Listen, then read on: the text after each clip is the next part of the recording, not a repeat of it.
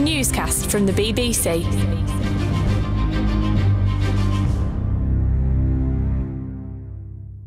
Hello, it's Laura in the studio, up from the basement where we broadcast on television. Paddy in the studio, up from the third floor. So you get daylight. A bit. And uh, Henry at home with lots of daylight. Well, this morning, the government minister who had the lucky ticket of coming on after an absolute thumping at the by elections in Kingswood and also in Wellingborough, which we talked about yesterday, was Michael Tomlinson, the immigration minister. Now, Henry, do you think it tells us anything that Michael Tomlinson, no offence, who doesn't have a hugely high profile, is the person who had the lucky ticket this morning? It definitely tells us um, a couple of things. One is that the government does want Michael Tomlinson to be one of the faces of its immigration policy. That might sound a bit SW1, but it's definitely it definitely matters. You know, he's done quite a lot of broadcast rounds since he got that job. And worth remembering, he got that job uh, in a very frantic mm. few hours after Robert Jenrick, up until that point, one of Rishi Sunak's closest friends in politics, suddenly resigned and tore into Rishi Sunak's immigration policy. Um, so it's it's not like when Robert Jenrick used to appear on your program and it was, you know, you knew that he was speaking for Sunakism as well mm. as the mm. government, which is quite an important distinction. But the other thing I think it tells us after a, I think it's fair to say, terrible week for the Conservative mm. Party in electoral terms is that they believe that immigration, highlighting that issue, highlighting what they think they're doing to fix it, is one of the crucial ways they might be able to turn things around. So, one of our questions this morning was after this absolute thumping, whether the Tories are actually going to change anything, right? Because you've seen it after elections. Sometimes parties go, ah, yes, we have listened, we will learn, Uxbridge. we will do. Uxbridge, right? Exactly, where you went and spoke to loads of punters in Uxbridge. And after that, the Tories did really change tack on Rishi Sunak's rhetoric around the environment. However much he actually changed in policy, that's a big debate. Although he did change some things. But this time, actually, Michael Tomlinson this morning came up with that phrase that we've already heard again and again and again and again and again stick with the plan, stick with the plan, stick with the plan please don't vote for reform because what you'll do is let Labour in. There's no doubt that these by elections were set against a very difficult backdrop. I was in Kingswood uh, myself a, a, few weeks ago. I saw the, the excellent candidate and the campaign on the ground. But actually, if you look at it, if, if you look at, for example, reforms vote, which people have been talking about this week, what comes across to me is it's very clear that a, a vote for reform is actually a vote to let Labour in. And that is a very clear message that I've taken away, one of the clear messages that I've taken away from these by-elections. But the clear message is that voters don't like what Rishi Sunak is offering them. And it's not just the last week. They've been Somerton and Frome in the, in the southwest, Selby and Ainsty in the north, Tamworth in the Midlands, Mid Bedfordshire in the southeast. This is a long line of kickings since Rishi Sunak has been in. Voters don't want what he's offering. Well, as I said, these have been very difficult circumstances and, and a difficult backdrop. You mentioned by elections. Governments don't traditionally win by elections. That, that is absolutely right. We saw the turnout in the by elections very different from the sort of turnout that you get at a general election. We're in the 30s um, or thereabouts for the by elections, much higher likely to be the 60s or hopefully uh, towards the 70s in a general election. But it has been a very difficult backdrop. Henry, can you just address our newscaster Jenny Walton? This is the umpteenth minister I've heard saying that a vote for reform will let Keir Starmer into Downing Street. Why don't they address why so many people have turned to reform Jenny adds, I'm not one of them and will never be. But in other words, no good just saying, don't do this thing that voters want.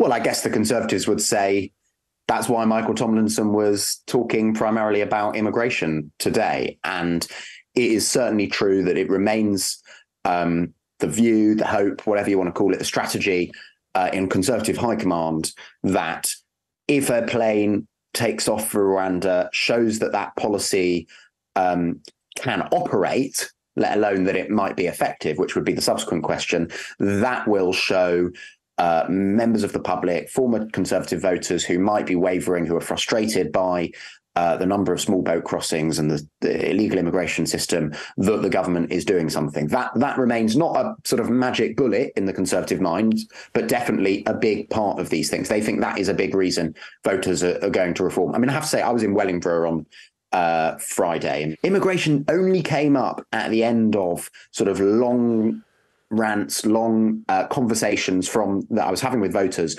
about all the things that were annoying them. It was just one thing as part mm. of a sort of broader piece, local as well as national. And I, I, found that really interesting because I don't think it's like in 2019, when early 2019, when the Conservatives looked like they were in a very bad way, but it was quite clear that if they could just solve Brexit, then mm. loads of voters would flock to them. It seems like immigration is just seen by many voters as just one symptom of a country that's not working on many levels. I think that's really dangerous for the Conservatives. And if you look at the opinion polling, or as we did a few weeks ago with Britain in a Room, and we talked to lots of different focus groups, immigration for former Conservative voters or Conservative voters tends to come near the top. It's sometimes a number one issue. But if you look across the piece, the issues nearly always are cost of living, far out at the front, then the NHS, then for some people, immigration hovering around the same place actually as climate change for a lot of people. So, look, don't shoot me, newscasters. There are lots and lots of different kinds of polling. But consistently, if you look across the whole population, immigration is not number one. But the Conservatives believe it's number one for many of the voters that they're trying to get back who were blue before and they want to keep blue now. It's been a chapter in politics this week because of the by elections.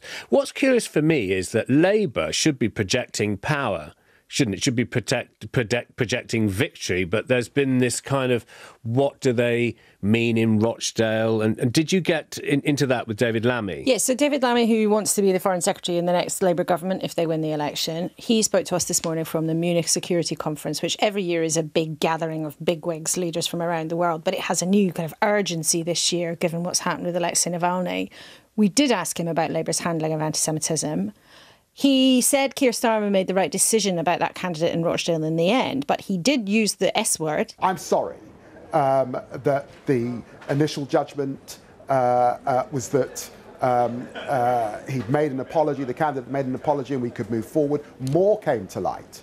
Uh, and it was right that Keir acted decisively, I'm afraid, to suspend him and to withdraw our support to him as a Labour candidate. It does mean that the people of Rochdale will not have uh, a Labour candidate on the ticket, and I uh, am very sorry that they will not be able to vote Labour, but I absolutely stand by that decision not to support a candidate that had come up with a whole series of anti Semitic tropes. So I thought that was interesting because we had not heard that from the, the, leadership team around Keir Starmer so far. We just heard, oh, ah, it was a tough decision. We took it. We looked at the facts. More emerged. It was a tough decision. So David Lammy, intentionally or not, did apologise for the sort of mess of that. I think they've got another mess to look ahead to this week because there's going to be a vote in common in the Commons on whether or not there should be a ceasefire in Gaza. Last time that happened, more than 50 Labour MPs voted for there to be an immediate ceasefire. Keir Starmer did not he did not want the Labour Party to do that. And yesterday, awkwardly, Scottish Labour backed the notion of that at their conference in Glasgow. And you had Anas Sarwar on your programme this morning, the Scottish Labour leader. Yes, and he, he repeated that basically speaking, call it what you like, there needs to be an immediate stop of hostilities, of killings and everything. So, uh, Henry, do you think this is a big issue in the week ahead for Labour? The SNP's called this ceasefire motion. Labour has a different position in Westminster than it appears to have in Scotland? I think it's certainly a big issue. I think it's probably less of a big issue than last time this came up for a few different reasons.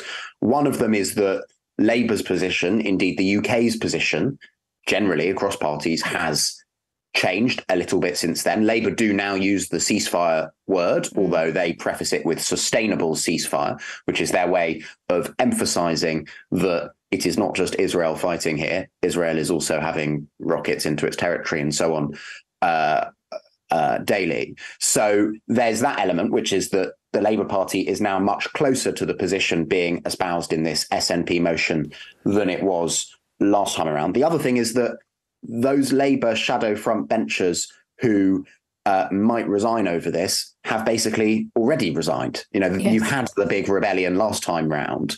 Um, so that sort of jeopardy with certain people who were on Keir Starmer's front bench who feel incredibly strongly, well, they have already displayed their strong feelings by going to the back benches. So that sort of constrains the front bench rebellion somewhat. And then finally, one of the big arguments last time this was being debated internally within the Labour Party was that it could really harm, some people said, really harm the Labour Party nationally with the voters. And I think the view of Keir Starmer and his team is look at the opinion polls, mm. they've barely budged. Look at these two by elections this week where Labour won on historically large swings, specifically in Welling- Wellingborough it hasn't budged the national opinion polling. So they're not denying that there's problems for specific MPs in a few specific seats. But I think on the politics of how Labour has responded to this, they basically feel vindicated. It's really interesting you say that, and I think they might have, like you, I think they might have a bumpy couple of days over it. But I think a lot of the boil on this has been lanced, partly because people who were going to get up and go have got up and gone from the front bench, hmm. and also we have seen, as Henry was saying, the government's position has shifted a bit to be a bit tougher in its language towards Israel. Labour's language has shifted to become a bit tougher towards Israel too. But of course, like so many other leaders of democracies around the world, our politicians say serious, they hope tough sounding things, trying to stop Israel from going further or going into Rafah, for example. And yet it doesn't appear to any of them that Benjamin Netanyahu is actually listening to the calls that they make. So, yes, there is an interesting kind of dynamic in how it's being handled in Westminster and the sort of intrigue and the division between Scottish Labour and, and, and UK Labour.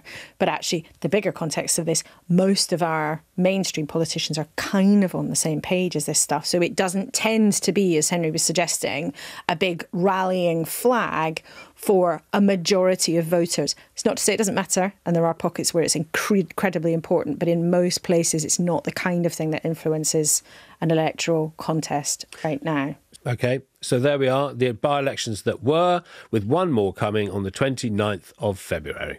Laura, we were both, I think, moved to be with Marina Litvinenko on the newscast on Saturday. I mean, you, I thought you were visibly moved. I know what I felt. Yeah, without question.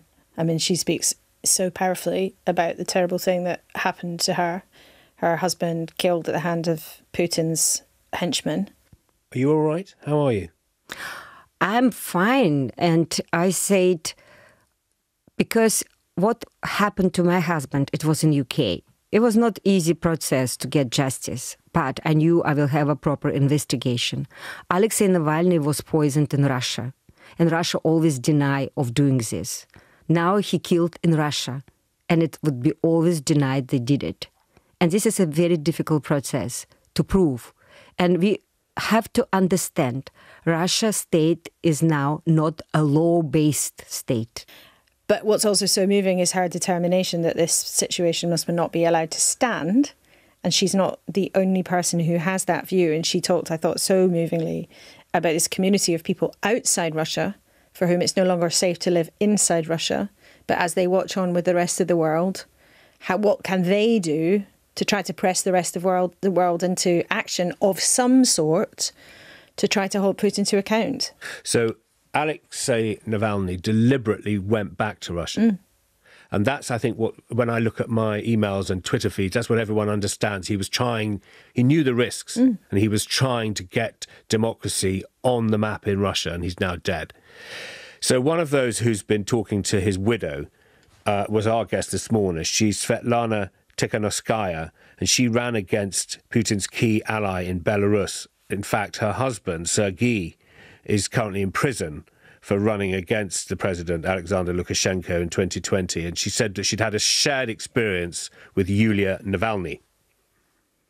I wonder about your life day to day. In this way, I can understand Yulia and her family as well. Uh, They've had the news they fear. Bluntly, can I ask you, do you fear that Sergei is dead? You know, yesterday when I uh, when I talked to Yulia, she still hoped that this news about uh, her husband was gossip, because we all want to believe that our beloved are alive. I want to believe that my husband is alive because he's a strong person, his morality is high. But these gulags, you know, these prisons are killing people. Last year, he's kept incommunicado. It means that lawyer is not allowed to visit him, letters are not delivered. So actually, I don't know if he's alive. I tried to put to her what we've heard on the newscast from voters on the streets. Oh, it makes no difference. Our politicians are all rubbish. It's all awful. Everything's awful. I said, Do we need to educate ourselves in the UK? Actually, democracy is a fabulous thing. And she said, Yes. You know, you can criticise your leaders, you can change them. And I don't know whether or not you think it's a bit pompous of me mm. to put it that way around, because we've one of the big themes on the newscast is voters telling us it's all rubbish. Mm-hmm. But we can change our minds. Yeah. And we have the power to make that change. And when you hear from her, and you hear from people like Marina or Evgenia Kara-Murza, who is a similar situation. We spoke to her this morning, and again, her husband's in captivity. She, he's been recently moved. Uh, she fears for his life in the same way as we just heard there. And she told me she'd been sleeping with her phone beside her for years. What goes through your mind when it rings? With all of that is that's happening, I cannot afford breaking down I cannot afford being afraid. I cannot afford just the just the normal uh, human feeling of fear. I have to always fight that and step over it and say, yes, I am afraid, but that is not important right now. Continuing the fight is important. Telling the stories of those people who are suffering from the regime is important. Today, people are getting arrested for laying flowers to the memorials of uh, victims of repression. So that's um, that situation is deteriorating. It seems by the day. Where does this story go now? Do you think, Henry? Is it something that we, you know, David Cameron's been saying there must be consequences, but there are sanctions, aren't there, on key Russians? So I'm not sure what the British government can do. That's the thing, isn't it? Uh, you know, the UK government and the West more broadly now does have a very aggressive posture towards Russia. So ways in which that might be tightened a little, I'm sure I'm sure they'll be looking for those. But to my mind, where does this story go now is really the question of the US presidential election. Oh. Because if Donald Trump becomes president, he almost certainly will have a fairly different attitude to Russia to the one that the US administration of Joe Biden has. And what that means for the sort of broader Western front, the NATO front, essentially, against Russia, um, it will be fascinating. And so I think really, you know, the, the, the question of uh, whether the West moves further against Putin solidifies further against Putin as a result of this is really one that's going to be answered in November in places like Minnesota and Wisconsin and Michigan. And before then, perhaps there may finally be a resolution of whether Congress ever signs the check for the latest tranche of weapons to go to Ukraine, Ukraine and still, you know, stories that have been emerging over recent months, but with literally people saying they've run out of munitions while American politicians argue over whether or not they should keep funding the Ukrainian war effort. So that is a story that we will be keeping an eye on, of course, across the BBC. But tomorrow, I think there will be a statement in Parliament either from the Prime Minister or from the Foreign Secretary, but of course, he would have to do that in the House of Lords, but about what, if anything, the UK might say in as a consequence to Putin for what's happened to Alexei Navalny. Okay, so can I go to something which is not really on the news agenda, but it's been on Henry Zeffman's agenda, and he didn't complete the thought last week? Because I've been obsessed with David Cameron's role. Mm-hmm. I brought that up before. And last week, Henry said, subplot, David Cameron hasn't really been wheeled out. So can we have the subplot, Henry, about David Cameron. You're, uh, are you implying that he's actually been held back? No, no, no, not at all. I just think it's very striking that when I was having conversations with people in government in the immediate aftermath of them bringing David Cameron back, they said there's two great prizes for them. One is you get a former prime minister with extensive experience in foreign affairs to be the foreign secretary. And clearly that's the great prize for Rishi Sunak administratively. And he's, you know, he's been doing I think no one could say he's been anything other than massively energetic on the world stage. He's been traveling a lot. He's traveling right now. He's in the Falkland Islands at the moment. Um, But the other thing that people said is he'll also be a very powerful voice arguing for government policy on the airwaves across the piece. That's the thing that I don't think has happened very much. You know, he's made one appearance on Sunday with Laura Kuenssberg, um, but generally he has confined himself to um, very controlled moments where he will only be speaking about the admittedly extremely important business of his being foreign secretary, but we haven't heard him, you know, for example, responding to by-election defeats in the way that Right. actually previous foreign secretaries I can imagine were how that call would have gone. been. Yeah, but I thought Ah, that, yes. Call me Dave. Dave, do you fancy going on to defend the by but one of the worst ever performances in the Wellingborough by-election? Yeah, but you see, Sorry, I'm in the Falklands. That's not a bad, bad former foreign excuse. secretaries, former foreign secretaries might have had to do that kind of tricky. Yeah, but media. because me, you you two are the boffins. I thought I've been saying on Mm. this newscast, watch for him being wheeled out in this role, like the deputy prime minister uh, in all but name. But you see, I think in this subplot, and I think it's very interesting that you're obsessed with it. Yeah, I am. In this subplot, I think there was a difference, and I am speculating on the basis of conversations that I had around the time. I think there was a bit of a, maybe not a disagreement, but a difference in understanding because of people around David Cameron's expectation was that they would perhaps do media when he was abroad around the issues that he was focusing on, and that he was not going to be a, a committed, uh, useful rent a gob to defend a government that is in difficulty. However, I think there is a, a suggestion that when it comes to an election campaign, he will be a very useful, polished gob on stick in the view of Tory HQ. Whether voters accept that, of course, is a different question. However, we have a discorder. Denty632. No, not Denty six three two. Denty632. That sounds like something from the Thomas the Tank Engine. Um, today, at 10.38, they messaged, finally newscasters, and there's a few here in the Falklands. Denty's in the Falklands. This is amazing. We get to be in the news from a positive point of view. Lord Cameron's dropping in to see the penguins, pay his respects at the Liberation Memorial. I wonder if he'll do a selfie with Maggie's bust and chat to us in the Falklands Islands government. It's going to be an interesting week ahead. Well, Denty, tell us after the visit what you made of it and whether or not the penguins welcomed him with open wings. I want a, I want a picture of of the penguins. Uh, I want a picture of Denty with a penguin. I've never in my life had an email from the Falklands. That's a, that's a career It's a high. first, isn't it? Yeah, so I've just got to go back to this. You know how you're saying David Cameron can be wheeled out in the election campaign? Yeah. Do we think, Henry, first, that you could see Labour wheeling out Tony Blair, Peter Mandelson? Do we think that there's going to be a campaign when it's back to the future?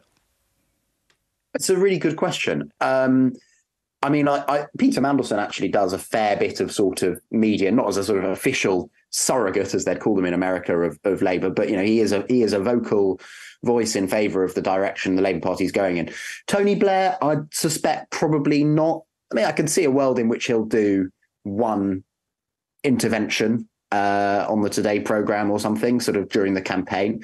Um, but probably not. I mean, it's, it's the it's the interesting balance that that Keir Starmer has to strike, which is, um, you know, making himself the centre of the Labour campaign because it will be him that would become Prime Minister if Labour win, while also trying to show that he has a strong team around him. And I think he'll probably want to prioritise his shadow cabinet rather than uh, voices from the past.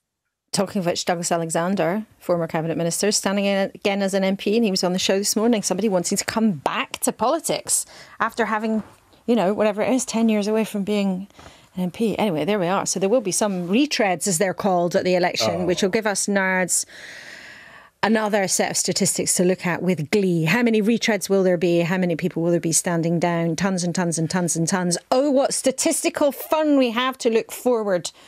Perhaps that should be the end of today's newscast. What do you think? Uh, well, I wanted to say that I have another old re- retreaded view. Oh, go on. Which is that we, the British voters, Yes. seem to love politicians when they leave. Oh, yeah. Because we suddenly go, oh, yes, they were not, actually, they weren't that bad. With some, it's this sort of trait in us. There's nothing quite like someone who goes, you know what, I've done my best, and now I'm going to go and play cricket. Whatever it is. Or go into the jungle. Go into- yeah. Or go on Strictly. Maybe I'm Or any of those other things. No, you, I think you're absolutely right. No, I, I've been wrong. I'm probably wrong. I think you're absolutely right, Paddy. Well, our dedicated newscasters, our friends, Yes. thank you for being with us on Sunday. Goodbye. Goodbye. Goodbye. Newscast from the BBC.